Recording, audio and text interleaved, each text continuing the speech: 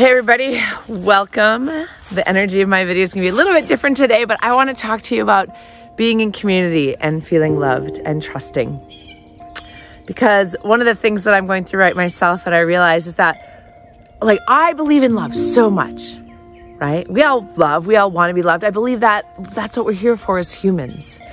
And that all of our actions are driven by wanting to be loved. So even when people are being cruel, even when people are being defensive, even when people are being mean, it's because they're really trying to either defend themselves from feeling unloved or trying to reach out or find a way to connect or find a way to be in a group to be loved.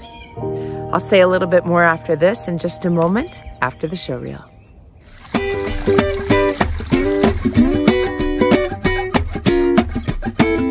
you can't feel too much. So let me tell you a little story. So right now I've been in this group. We've been getting together for 45 days. And today we were in our last video conference and we were doing this meditation and somehow my video went off. I don't even know how.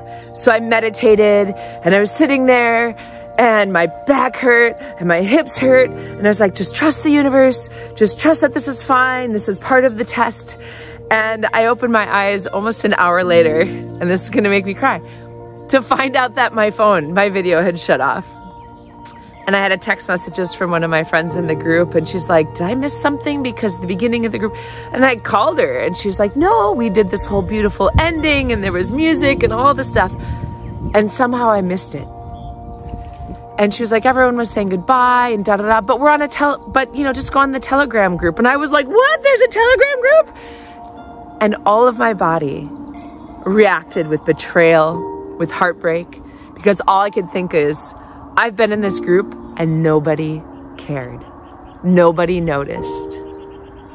I wasn't actually part of. But here's my, but here's the lesson, right? Is it would be really easy and I hear my brain wanting to be like, you're not good enough, right? How often has your brain said, you're not good enough? Nobody cares. Nobody loves you. And it's easy, it can be easy to sink down into the cycle of sadness, depression, uh, betrayal, nobody loves me, why am I wanted anyway, to get angry, to be heartbroken, right? None of that's true. Because let me tell you, you are loved, right? That is the ego trying to protect yourself. So stop instead and just feel, feel your heart. And even if there's pain there, just breathe. Breathe into that sensation. Breathe out through it. Breathe. Breathe into your heart. Witness the pain. Don't immerse yourself in the pain, right? Like pain is there, but all emotions, love, joy, happiness, sadness, pain, betrayal, anger, right? These are emotions that move through us. They're energies, right? Emotion, energy, in motion. So allow them to keep moving because what we want to do as humans, we want to trap them. We want to hang on to joy like, I'm so happy right now. I don't want to not be happy. Or I'm so angry right now and I want to hang on to the anger just to show them that how angry they made me, right? Or to protect ourselves because if we're angry at somebody, then, you know, then they're not going to hurt us again. So we maintain that anger. So instead, when you're feeling like this, when you're feeling like you're lonely, like you're lost, like there's no one, just trust that this is a test. Just trust that you are loved. And feel that love for yourself. Feel your self-love. Ground to the earth. Breathe into your heart. Breathe out. So breathe in love. Breathe out the pressure. Breathe out the pain. Breathe in love.